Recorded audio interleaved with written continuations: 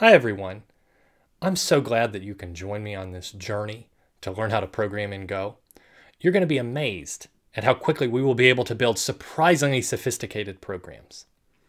But in this first installment of Programming for Lovers, we're going to begin with how all programming courses start, which is writing our first program to print Hello World to the console. To do so, we're going to need to learn how to install Go, along with a text editor that's going to make working with Go a snap. As always, if you enjoy what you see, please like, subscribe, and join our course at programmingforlovers.com. Let's code. To get started, you need to download two things. First, you need to download the Go programming language. So you can find this page online, and this is going to have featured downloads that will have the Go programming language, regardless of what your operating system is. Secondly, we're going to work with a text editor when we program in Go. And a fantastic text editor that I would suggest is called Visual Studio Code or VS Code for short. Here's the download page currently for VS Code. Download and install both Go and VS Code. And when you've done that, you're ready to continue on. In the meantime, I'm going to show you what I'm going to do next if you have successfully installed Go on your machine, then what I'm going to do is open up a terminal window in Mac, or if you're working in Windows, this may be called command prompt. So there's an application on your machine that you should find. Uh, in, on Mac, it's in the utilities package called terminal. And this allows us to run command line commands. We're not going to run a ton of command line commands, but when we when it comes time for us to compile and run our code, that's what we're going to do. I'm going to show you two command line commands that I want you to run. And these are critically important. Number one, I want you to run the command go space env and hit enter, and that will run it. Now this is going to give you a lot of advanced stuff that we're not necessarily going to use, but there's one important aspect of this. And that important aspect is what the go path variable is. So when you install Go, Go will always look for your code by default in one place. If you wind up putting your code elsewhere, then we're going to have to get really hackery and you're going to have to delve in and tell Go precisely where your code is. By far, I always suggest to students just take where Go is already by default looking for your code and put your code there. You can always create a backup of it somewhere else, but this is where Go is going to by default look at your code. And on a Mac, it's going to be under users and then my username, which here on this computer is Phillip Compeau, and then slash go. That is Go telling us that it is looking for our code there. If you're working on a Windows machine, it's going to be something similar. It might be under your hard drive and then users and then your username and then go. So um, this also tells you if you don't see all this stuff printed, that's because you didn't successfully install Go. So if you have Go installed, you'll see some version of all this get printed out. The second thing that I want you to do is run one more command. This is going to turn off modules. And uh, there, this is an important feature of Go but it's not really an important feature for the first 100 hours of programming in Go, and it's going to make our work much easier. So the second critical command that I would like you to run is a similar command, which is go space env, but then also uh, dash w and then go 111 all caps module all caps equals no space off. Run that. You shouldn't see any output because uh, if so, that's been done successfully. We may talk about Go modules much later in the course, but for now, it is the most helpful. If they're turned off, everything will work nicely for us. And I'll say something about that much later. But for today, that's all we need to do. Now that we know that we've installed Go and we've got it working and we know where Go is going to look for our code, now it's going to be time for us to write our first program, which means let's open up Visual Studio Code and take a look. So I'm going to close out my browser. And if you open up VS Code, you're going to see what we have here. So there's a number of options on the left and uh, probably you will see an open folder option here on the left. So that's what I want to do. I want to open up a folder because this is going to allow me to navigate among my code using the built-in Explorer, File Explorer that is provided by VS Code. So this is just a, after what I see when I open VS Code and I click on Open Folder. And it probably will default to my home users slash Phillip Compeau directory, which is good. And you will see this is the directory that Go is expecting our code.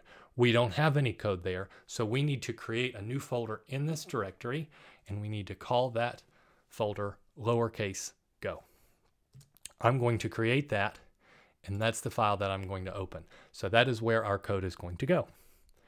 I'm going to create three directories within our Go folder.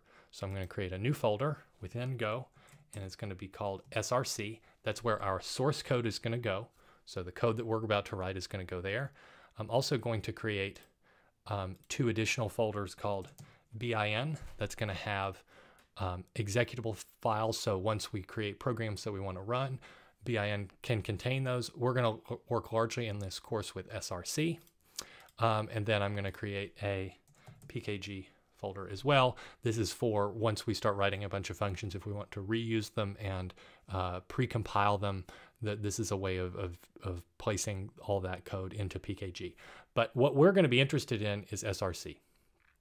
And in SRC, this is where I want to create a folder uh, that's going to contain the code that we write in this initial code along where I'm just going to have a program that prints hello world to the console.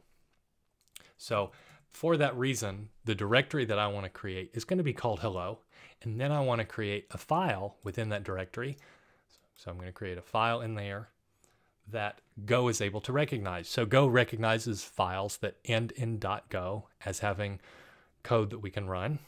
And so let's call that main.go. You'll see that that file gets created over there on the left. And now we're ready to start writing our first program. Except I would like you to do one more thing. And that one more thing is um, let's add an extension. So an extension is like an extra package for VS Code that's going to, in this case, when I type in Go and search for the Go extension, when I install that package, it's going to have a lot of built-in nice features for us where it'll highlight our code uh, nicely, for example, and have uh, some suggestions as we write our code. That's going to be really good. So make sure to install that extension as well. In the meantime, I'm going to close that and I am ready to write my first program.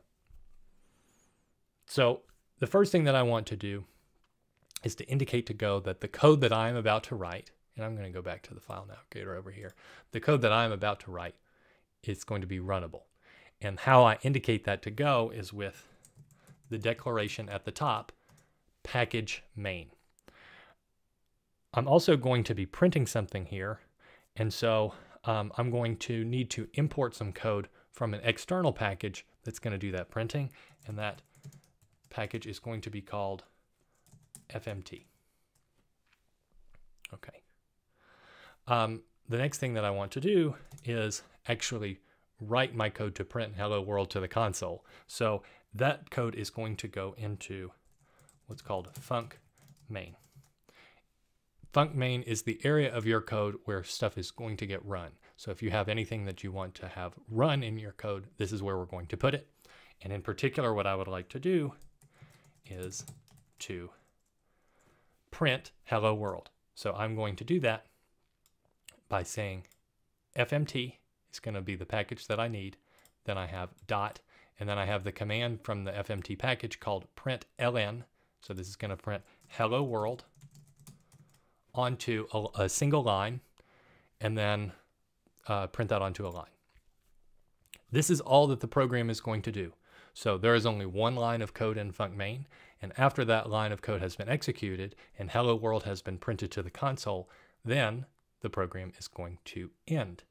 So a very important thing that I need to do is, and this is going to seem uh, perhaps obvious, but I myself have fallen into this many a time, I need to make sure that I save my code. So you'll see this white ball up there at the top. That is indicating to me that I have not saved my code yet. So once I save it, um, everything is okay. And I'm getting some additional suggestions for packages over here, which I could pay attention to. But for the purposes of this, I'm gonna I'm gonna ignore those for now. The question is how to run my code. And I'm gonna bring back briefly my terminal window where I was uh, setting the, the modules to off and also making sure that I had installed Go. When I look at my terminal, I'm going to see that I'm in this directory. This is my home directory. And this is pretty universal that when you create a new terminal, you start the terminal program, it's going to start you in home. And you will remember that on a Mac, um, within this, this is my user username, Phillip Compeau. Within this place, Go was looking for this Go folder that I created. So the question is, how do I navigate into that folder? And I can navigate down into that folder with the command cd, um, and then I need to tell it where to go. So if I cd into Go, you'll see that I'm now in the Go folder. Um, if I wanted to, for some reason, go up a level, I could do cd dot dot. That's a good command to know, and that would take me back up a level. So I'm back in my home directory. Now I'll go back into the Go directory. Um, in particular, I don't want to just go into the navigate into the Go directory. I want to go into the source code directory within Go. Then I want to go into hello, and then that's where I want to go. So I can go straight into that hello directory if I cd into src slash hello. And you can see that I've successfully gone there because I know that directory exists, but also um, it's telling me that I'm in the hello folder. One other helpful command that you might like to know is ls. ls tells me what the current directory's uh, contents are. So in this particular case, it contains only the main.go file, which we just created. Uh, one other thing you might want to know is where are we currently?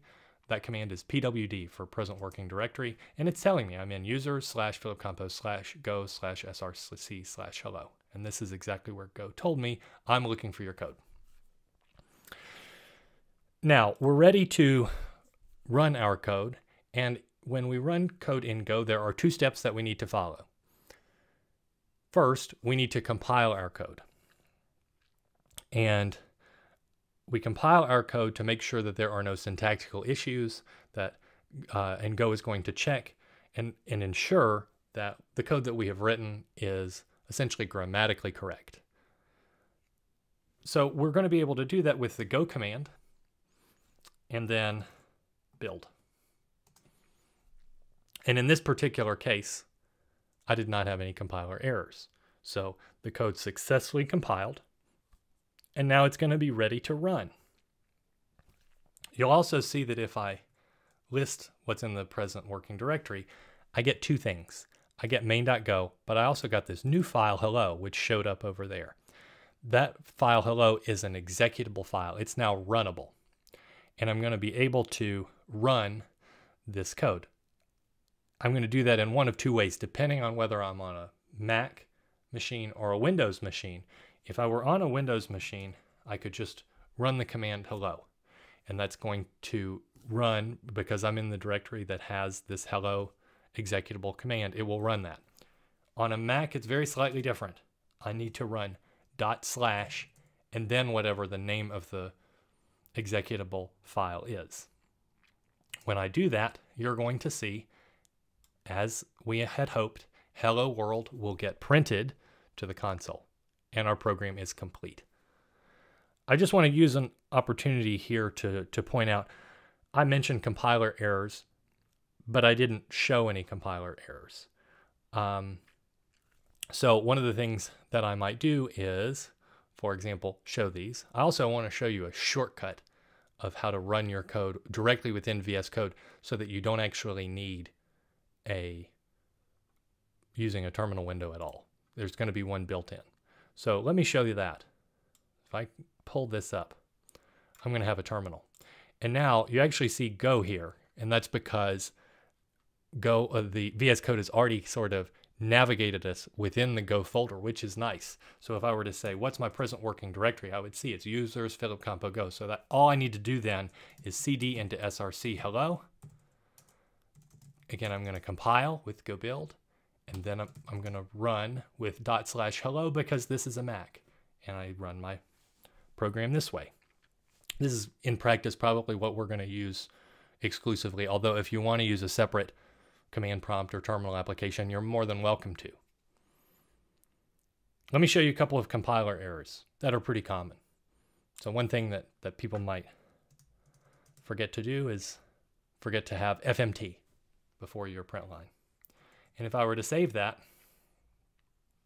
uh, I get these commands. If I were to save that and then I tried to compile, and one shortcut that I'm going to tell you is if you hit the up arrow, you, it will scroll you through previous commands. So in this particular case, if I hit the up arrow twice, I will get to go build. I don't have to retype it. And this will tell me FMT was imported but not used. Um, so that is the statement here, but it also is giving me some helpful information, which is that this occurs on line four, uh, character two. So line four is here. And it says print line is undefined. So I don't know, the code does not know what print line is on line eight. So I can see that on line eight. So the compiler can sometimes seem opaque, but it is always telling you precise feedback about a specific line of code. So in this particular case, it's saying you didn't use FMT. I thought you were going to import it. Um, and I don't know what print line is. And the, both of these issues are resolvable by the same thing, which is to add an FMT dot before it. We'll talk a lot more about packages and why that dot is important.